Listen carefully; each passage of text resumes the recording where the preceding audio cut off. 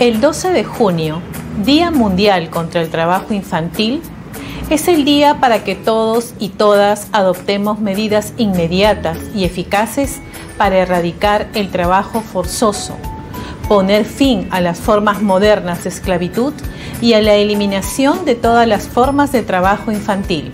Desde el Distrito Fiscal de Lima Sur invitamos a las familias a integrarse a este proceso de eliminar el trabajo infantil en cualquiera de sus modalidades.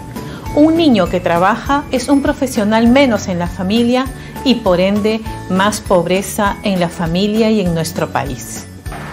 No al trabajo infantil. No al trabajo infantil.